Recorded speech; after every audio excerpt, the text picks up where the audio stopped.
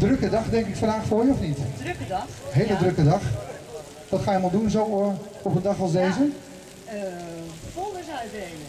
Folders uitdelen. Ja, Maar goed, jullie hebben goede hoop natuurlijk voor morgen. want, ik, want wat je net zei, we gaan allemaal SP stemmen. Ja, daar ga ik toch wel iets aan doen. Want we gaan allemaal links stemmen, lijkt me goed. Maar, maar ik ga wel proberen dat er ook zoveel mogelijk mensen Partij van de Arbeid gaan stemmen. Dat is logisch. Ja, toch? Dat is helemaal logisch natuurlijk.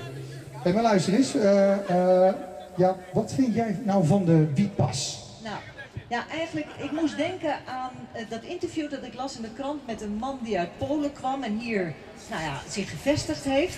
En, en toen ging het over de gezondheidszorg. Hij zei, nou, dingen zijn in Nederland zoveel beter geregeld dan in Polen.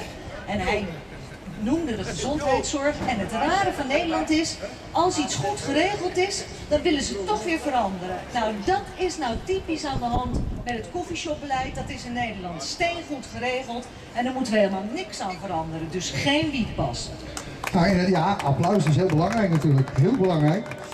En maar luister eens even een hele andere vraag natuurlijk. Eh, hoe denken jullie na de verkiezingen de wietpas van tafel te krijgen? Ja, kijk, voorlopig zit Opstelten er nog en eh, de, wietpas is van Opstelten. Dus ik maak me al zorgen dat als de eh, formatie lang gaat duren, dat Opstelten gewoon doorgaat met zijn wietpas. Ja, en dan zullen we per gemeente moeten gaan afspreken dat er niet gehandhaafd wordt. En als er niet wordt gehandhaafd, dan hoeft de wietpas ook niet worden ingevoerd. Ja, dat is inderdaad heel belangrijk natuurlijk. En maar luister eens, eh, kijk, we zijn natuurlijk heel, heel blij met wat er allemaal op dit moment gebeurt.